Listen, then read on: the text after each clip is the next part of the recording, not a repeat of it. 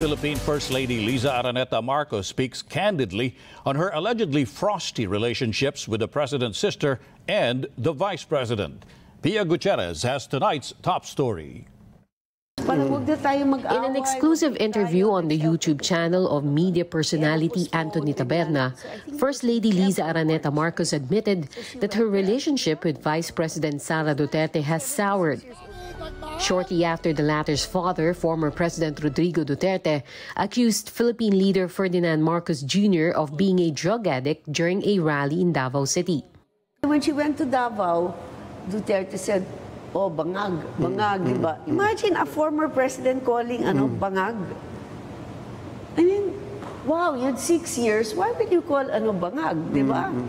So, and then the camera panned on her, tumatawa. So, syempre nakita ko, sabi ko, wow, man. I mean, masakit yan. For me, nasaktan ako because my husband will do everything to protect you. You ran together, di ba? Sama-sama tayo, babangon muli. Pupunta ka sa rally, tatawagan yung presidente mong bangag, matat... ta- di ba, you're going to laugh? Tama ba yan? Even Lenny never did that.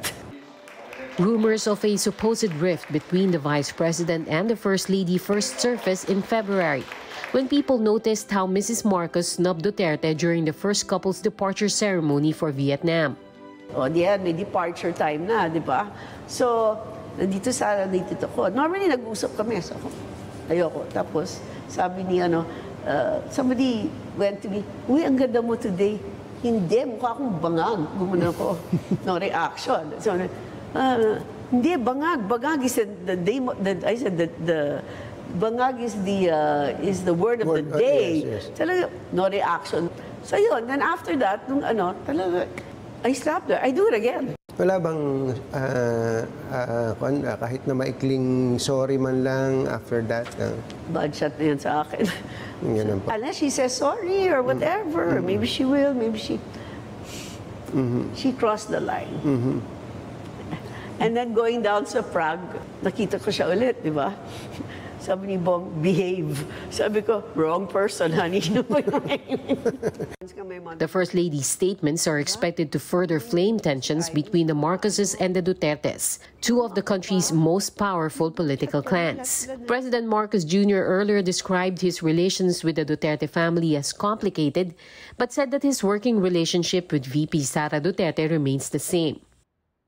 On Friday, both the president and the vice president attended the graduation of the PNPA Layag Diwa class of 2024, where they both appeared unbothered by the issues. They also refused to grant media interviews. Meanwhile, the First Lady declined to answer questions as to whether her sister in law, Senator Amy Marcos, should have defended her brother from Duterte's tirades. Maybe you should Brother. ask her. I'm just the, I'm just the outlaw. I know what line not to cross. ah. pero nasa ah, speaking terms ba kayo? Well, every every Sunday we have a family lunch. Once ka my mother-in-law said, Iya, hindi mo iniimbita si Amy sa mga ano. Sa, Ma'am, ako pa. May group chat kami, lahat sila nandyan. Sabi niya, anong group chat? Ah, ma'am, hindi ko na No, no, but, but she's always invited.